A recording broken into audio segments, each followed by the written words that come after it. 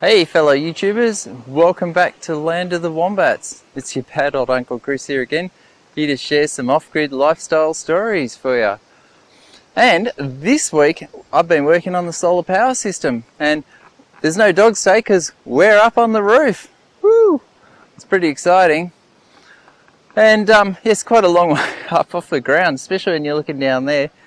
And what I've been doing this week is replacing these junction boxes for all the solar panels with sturdy metal boxes. These are all powder coated, they'll last for a super long time. Now the solar panels were put up um, about 16 years ago and whew, it's quite windy up here isn't it? A bit exciting. They put up 16 years ago and the plastic junction boxes that we use are a bit crap. Let's be honest about it. You know, plastic up in the sun and the wind and the rain for years and years and years it degrades. It's no good. Um, and you know, it was starting to leak and that causes the connections inside the junction boxes to corrode and they just had to be replaced. So I've gone around and done all of them. Now, on the property, we, uh, we have 50 solar panels installed. Oh, actually, probably 52, to be honest. And they're quite large and they pack a bit of a punch. Now, with all those solar panels, you think we'd be independent of power, but that's not actually the case. We, we have about 99% uptime which is not as good as the uh, mains electricity grid, which is usually in the, I don't know, high 99% um, reliability.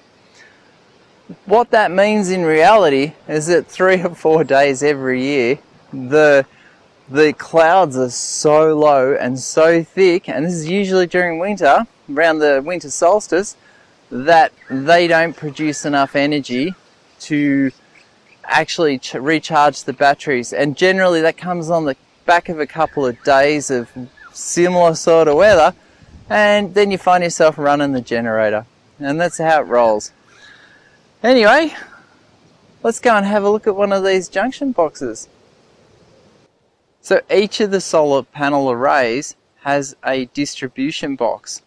Now the reason I do that is because I try and keep the voltage low so as to stay under the regulations. Because if in this state of Victoria if the voltage goes above 100 or 110 volts DC you have to get a licensed electrician in to do all the work and it's going to cost me a fortune. So I'd rather do the work myself because I know what I'm doing. Now solar panels put out about 40 volts DC and all these ones do anyway and what happens is I have a 48 volt DC system and you take two panels together and that outputs 80 volts DC but by the time it gets to the batteries that's 48 volts DC so what happens is the batteries bring that voltage down and you actually need to send voltage from high voltage to low voltage that's why people get electrocuted because we are low voltage. A lot of other things are higher voltage and the voltage will just run straight through you. These panels can give you quite a tingle.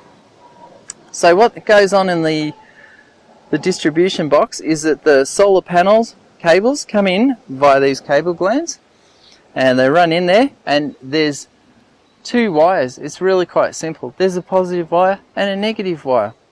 The, the, the positive wires are all fused. They're all individually fused, and that's what all these things are along the bottom.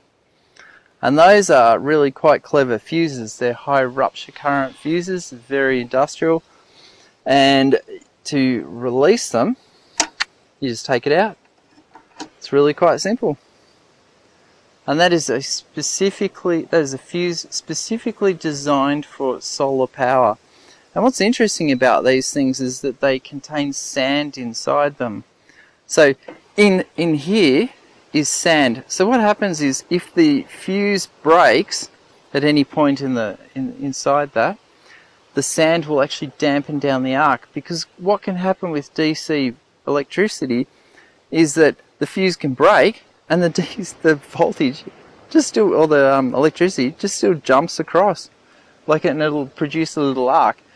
The sand stops it. Now, I've used and trialed cheaper fuses and you know, they fail. I've had so much dramas with fuses over the years that I now stick to probably these, which is probably some of the better ones. And they're super easy, just bang them back into the system and you put them in. And there's one fuse for every positive cable. So what that means is if there's a problem in any one panel, it won't take out the entire array, which will leave you stranded in um, in the middle of winter, because it usually happens in the middle of winter, that you're going to have a problem. And all those all those cables connect into these big chunks of copper and there's two of them there's one for positive and one of them for negative and that collects all of the electricity and then it sends it into these much larger cables. And those cables take it up to the house into the battery room. Super easy. This stuff is really basic but um, you know with this sort of technology you really want to keep it fundamental simple repairable just so that it's easy to fix up. Thanks very much for watching. See you all next week